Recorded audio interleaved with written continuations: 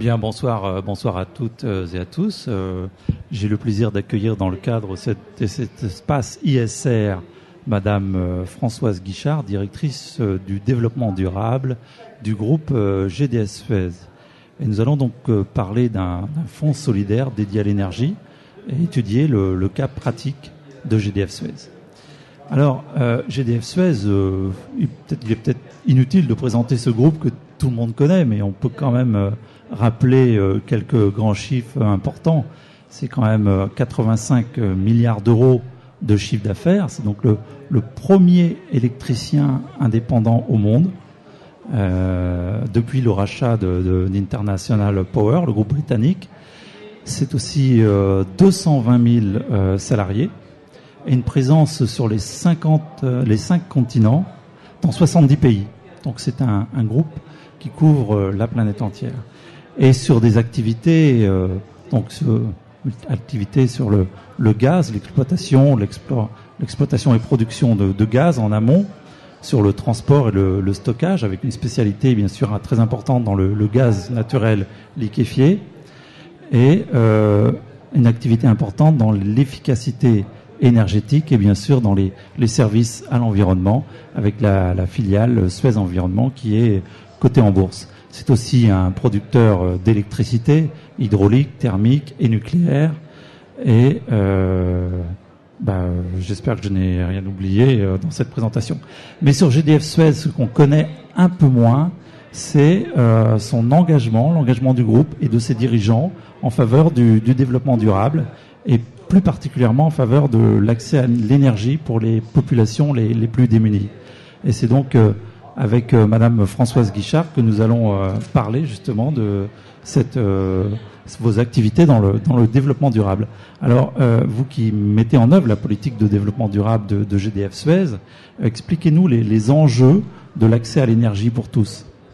Bah, vous l'avez dit, le, groupe est présent dans 70 pays à travers le monde. Donc c'est vraiment une entreprise mondiale qui est à la fois européenne, qui œuvre aussi dans les pays émergents et en développement. Euh, dans l'électricité, dans, dans l'énergie, l'électricité, euh, le gaz, les, services à l'énergie et l'environnement. Donc on voit que ce sont vraiment des, services essentiels pour les populations.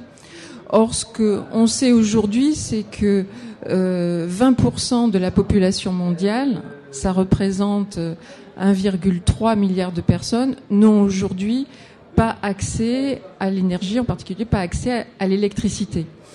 Or, on sait que cet accès à l'électricité, c'est une condition euh, essentielle pour euh, le développement parce que ça contribue euh, naturellement à l'activité économique, mais aussi pour euh, l'éducation. Ça permet euh, aux enfants d'étudier de, dans de bonnes conditions. Ça permet aussi euh, d'avoir des hôpitaux qui peuvent fonctionner de manière tout à fait correcte. Autrement, c'est pas possible.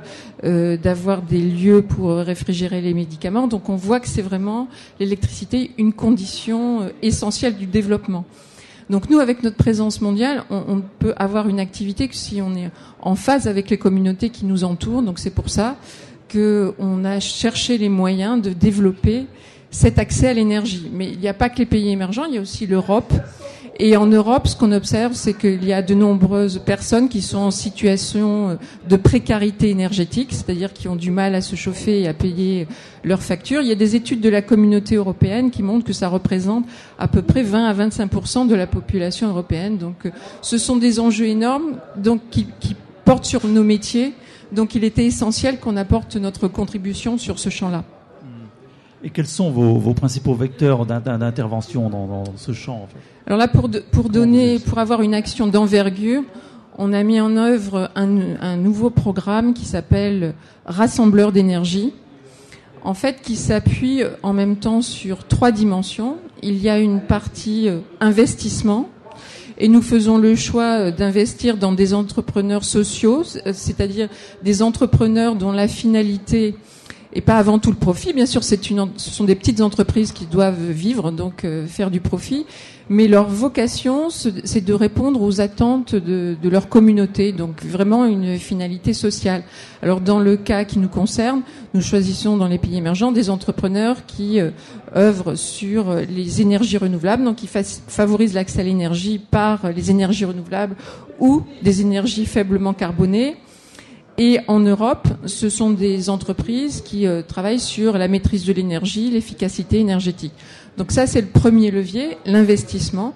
Il y a un deuxième euh, plus classique qui est le don à travers euh, notre fondation, puisqu'on a une fondation GDF Suez, qui voilà donc qui est financée. Là, il s'agit de financer des ONG, puisque là, on ne peut pas investir dans des ONG, donc c'est par la voie du don.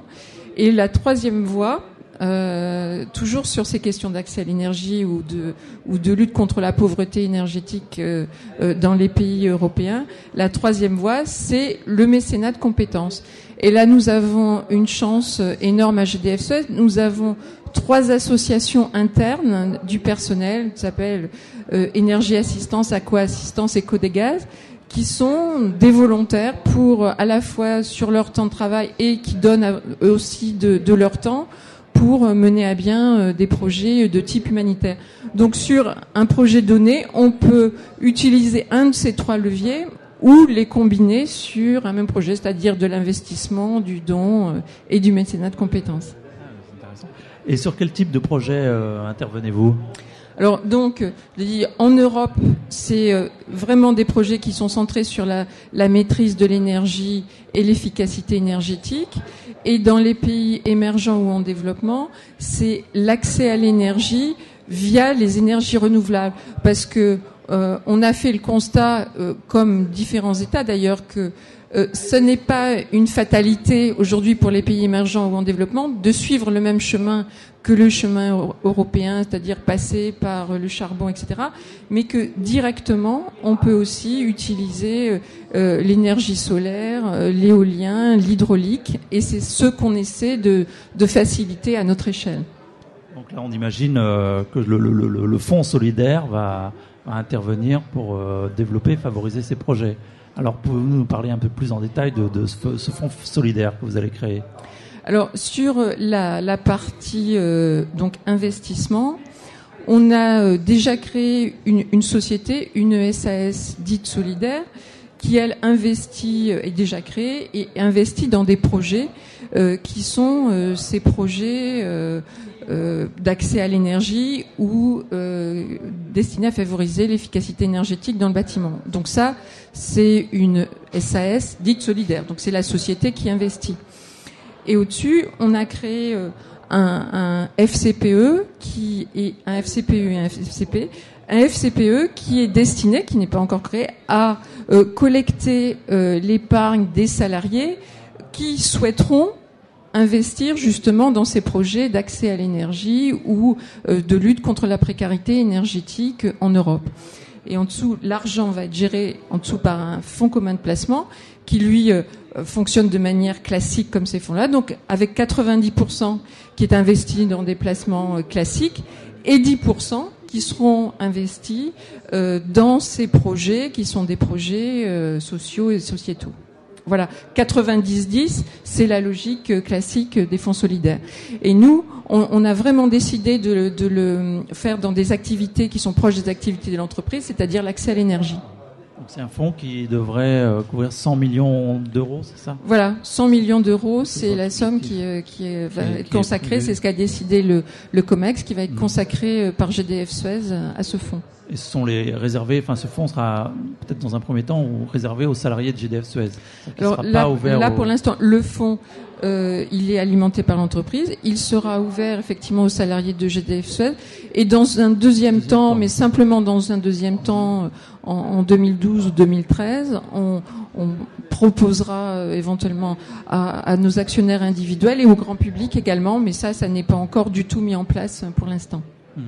Alors, où va s'investir cet argent? Dans quelle région du monde? Quelles sont les, les, zones que vous privilégiez? Ça va être, euh, c'est déjà principal dans les régions euh, dans lesquelles le groupe est implanté, mais pas seulement. Enfin, c'est-à-dire, sur la, en, France et en Europe pour lutter contre la précarité énergétique.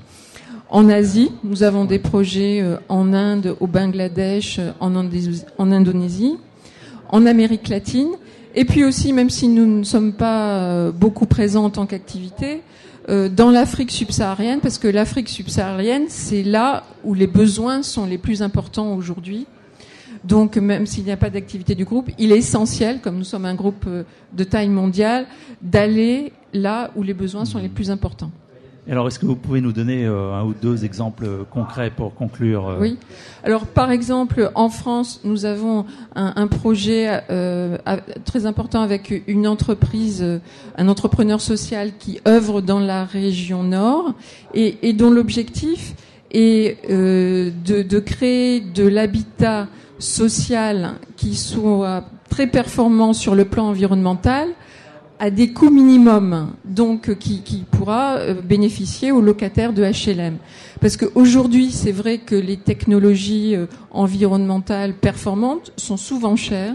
Donc là, le, le caractère innovant de cet entrepreneur, c'est justement de favoriser des solutions peu coûteuses, donc de faire que des personnes qui ont peu de moyens puissent euh, vivre dans un habitat qui est performant sur le plan environnemental et de l'efficacité énergétique. Donc ça, c'est pour un exemple de projet français. Et euh, pour citer un autre exemple, au, Bangladesh, on a un projet tout à fait intéressant qui est piloté euh, par une responsable d'ONG qui est très connue dans ce monde-là des entrepreneurs sociaux qui s'appelle Runa Khan. Et en fait, l'objectif est de trouver des solutions techniques pour l'accès à l'énergie dans des îles euh, du fleuve Brahmapoutre qui sont euh, euh, partiellement envahis par l'eau au moment de la mousson. Donc on comprend bien que pour l'accès à l'énergie, c'est extrêmement compliqué, mais nos techniciens, avec cette association, trouvent des solutions. Ils sont, il y a différentes idées qui sont en cours d'expérimentation aujourd'hui, avec du solaire, avec du gaz, avec de l'éolien, différentes solutions qui sont testées aujourd'hui pour euh, donner l'accès à l'énergie à ces populations qui sont particulièrement éloignées et démunies de tout. Madame Françoise Guichard, merci. Nous allons suivre avec beaucoup d'intérêt tous vos projets et nous espérons pouvoir bientôt en parler dans, dans le revenu. Voilà, merci à vous et merci de votre attention.